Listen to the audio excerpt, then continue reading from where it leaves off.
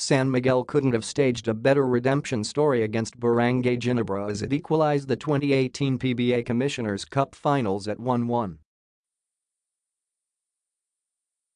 The Beermen, who absorbed an embarrassing 28-point drubbing in Game 1, turned the tides and annihilated the Gin Kings 134-109 in Game 2 of the best-of-seven affair before a mammoth crowd at the Araneta Coliseum on Sunday, July 29.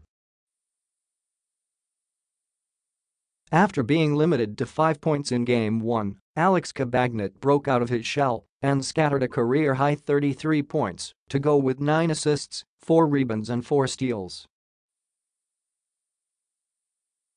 San Miguel zoomed to a 75-46 halftime lead thanks to Cabagnot's 22 first-half points and did not look back as Ginebra only managed to trim its deficit to as close as 19 points. It was not just Cabagnot's show, though, as five of his teammates breached double figures, with four of them chipping in at least 20 points.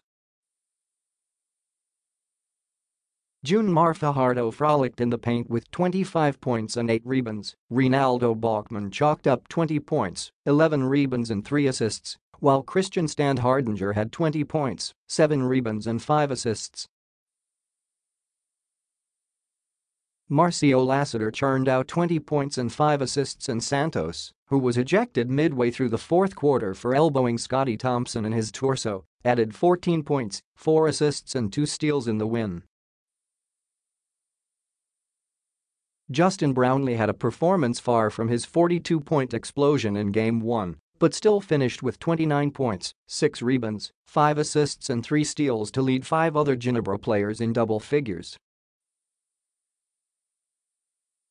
Thompson and Joe Devance turned out 16 points apiece and conjoined for 13 rebounds and 10 assists, while Greg Slaughter and LA Tenorio added 15 and 13 points, respectively, in the losing effort.